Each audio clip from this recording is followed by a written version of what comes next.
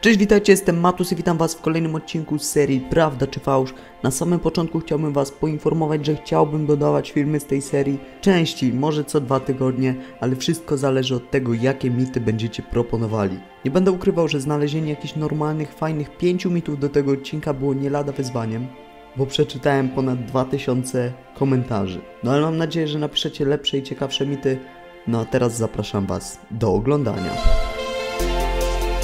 Pierwszy mit napisał Zeksa. Gdy rzucisz na Dezo, Mołotowa, do zbiorniku z wodą na B, woda zapłonie.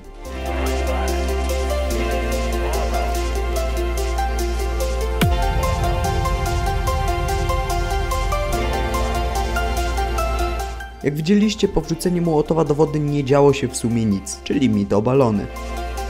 Zatem przejdźmy do kolejnego mitu, tym razem od X-Wordera. Czy przeładowanie magazynku z szybką zmianą broni jest szybsze od zwykłego przeładowania?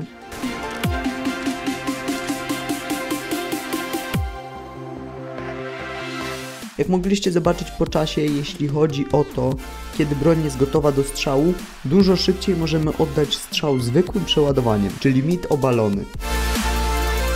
No i następny mit, tym razem od Cielaka. Na mapie Deniuk na pochylni na suficie jest tabliczka z nazwą autora mapy.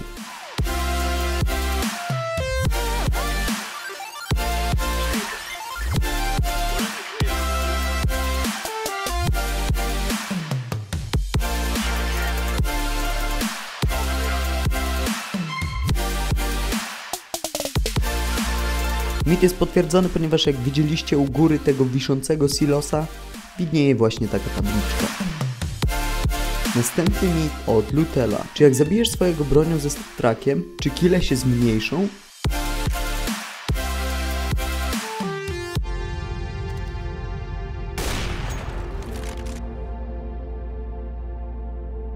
Wnioski chyba nasuwają się same.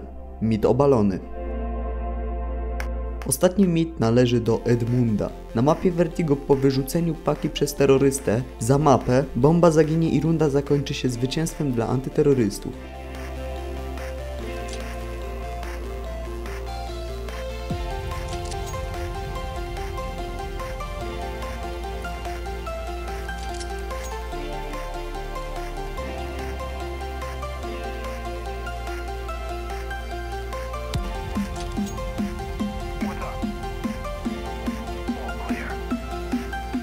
Po wyrzuceniu paki, co widzieliście, wracała ona w to miejsce, z którego została zrzucona, czyli mit obalony.